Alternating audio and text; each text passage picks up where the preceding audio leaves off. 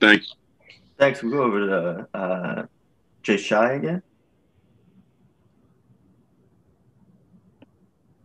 Me? Me? Yeah, sorry, go ahead. Okay. Okay, what's going on? Um, my name is Jasha Smalls. I'm a student journalist at Bennett College. Um, my question today for you is um, how do you feel about the NBA supporting HBCUs tonight? True. Uh, he just asked me that, but I mean, I think we did the jerseys. Like I said, I like the jerseys. Um, it's great that the NBA is acknowledging those colleges, and you know, it, it, it's bringing, it's showing, uh, you know, young kids that they're that they can uh, go to those schools and you know become something. Um, you know, growing up, I didn't know much about them. Uh, you know, just you know, living in Cali, you all you hear about is uh, USC, UCLA. Mm-hmm. Uh, but you know, now I think uh, you know my little cousins and nieces will be able to you know see that the NBA is contributing or uh, just showing love to the HBCUs and you know, we're just bringing an attention to to them. So right, you know, look it up and see if they want to go there. Um, but um, you know, it's not really mainstream. I don't hear it a lot on mm-hmm. the West Coast. Okay, thank you so much. I didn't, I didn't hear a lot when I was young. Thanks. We're over to Mark Medina. Hi, Kawhi. Uh, with the one year anniversary coming up with the season shutdown, what do you remember about how you processed what was happening in the OKC Utah game and then the the league calling off the season? I just remember them shutting it down. Uh, pretty much, um, you know, it's crazy. Nobody really didn't know too many information, too much information about the, you know, the virus. Uh, but um, you know, at that moment, you just you just thought uh, it was serious. Um, you know, with the NBA shutting it down, making sure none of the none of the players or uh, the staff members or anybody in the organization could spread to them and make it an even worse situation. Thanks, Mark. We'll go over to Dan. Hey, Kawhi. Good to see you. Um, it's uh, last year in Chicago, you won the MVP award, um, won a trophy with Kobe's name, and I know it meant a lot to you. Um, this might be an obvious question, but how different is this All Star experience than last year's, which kind of feels like sort of the last big NBA public event that everybody was kind of at together? I mean, there's a there's no people around, you know. Um, you know, it's no entertainment. Um, you know, look look what we're doing now. We're doing a Zoom call um, or whatever FaceTime call um, with interviews. So um, that's the difference. I mean, it's, it's just no no energy, it's, it's no excitement. Uh, you know, pretty much, um, other than when the game is going to be played. But uh, you know, off the floor, it's, it's pretty much dead. Um, you know, for us, the city of Atlanta's turned up, but it's um, it's pretty dead for the people in the organization or the league. Thanks, Dan. We'll go over to Law. Hey, Kawhi. Uh, sort of along those same lines, uh, you, have been in, you've been a Clipper now. For this is your second season, and uh, you know you're from the area, Los Angeles area, and I just wanted to know from this pandemic, like, what have you learned the most about Los Angeles? Like, what's what's what's uh, what have you learned the most also about um, Los Angeles since you joined the Clippers? nothing really. I mean, I've been through the city, you know, my whole life. Um, I didn't learn nothing, nothing new. Thanks a lot. We'll go over to uh, Shane Young. Hey, Kawhi, nice to see you. I know this year or this you know All Star event is not normal under normal circumstances, but in a traditional All Star season, what is your favorite part about about the All Star weekend? Is it you know just conversing with other players? Is it going out?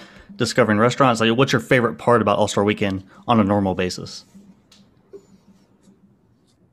Uh, you know, the the fan engagement. You know, um, just coming here. Uh, you know, fans being around. You get to go to, you know, the um, special sports clinics. Um, you're able to, you know, just just be be a mentor to some of some of the kids around that time. Just going to to those gyms or the parks to help help build things, uh, to help the community. Um, you know, those are the things I you know look forward to. Just trying to give joy in people's life, but um, you know, this time around we're not able to do that. We'll go over to Farbod. Hey, Kawhi, I remember a, a year ago when you took the podium at the All Star game, there was a Gatorade bottle and you put it down and said you weren't sponsored by Gatorade. And I think I see the X2 bottle uh, next to you this time. Are you making sure to have that with you at all times this year?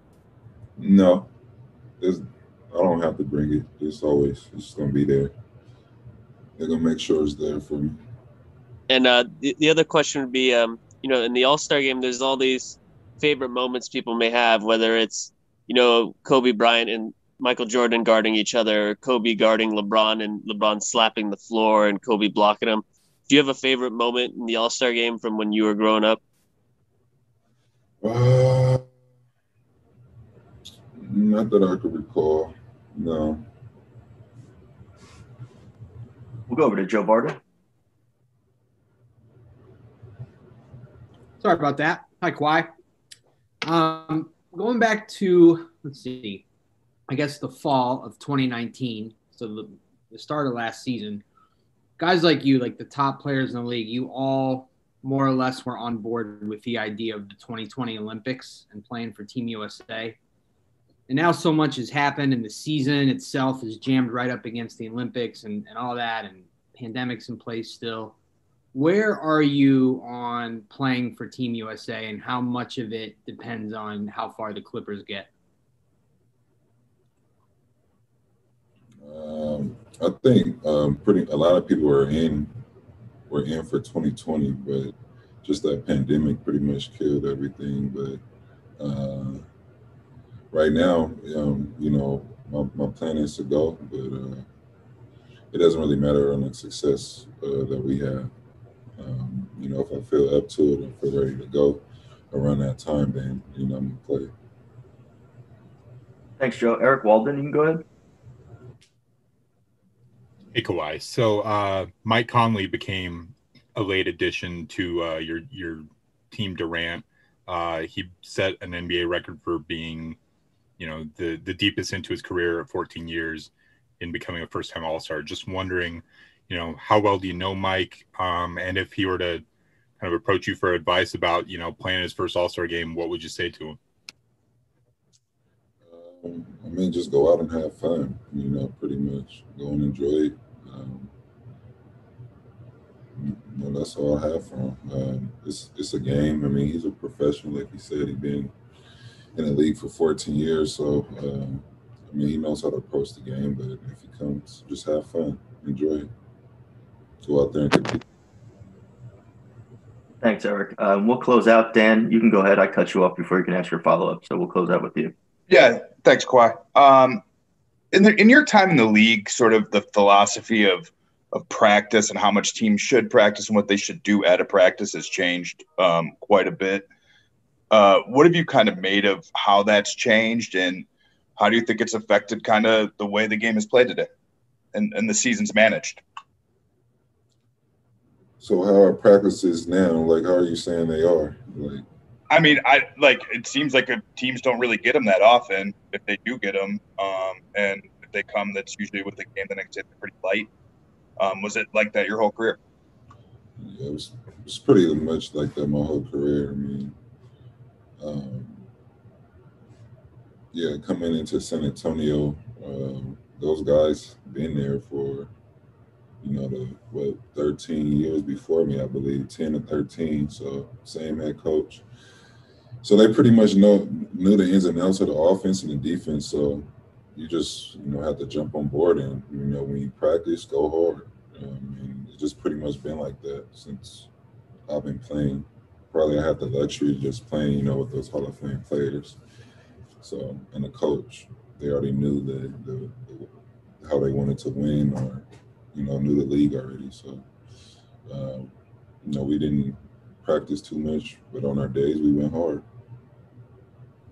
Thanks, Kawhi. Thanks, Kawhi. That's all the time we got for you today. Have a good rest of the day.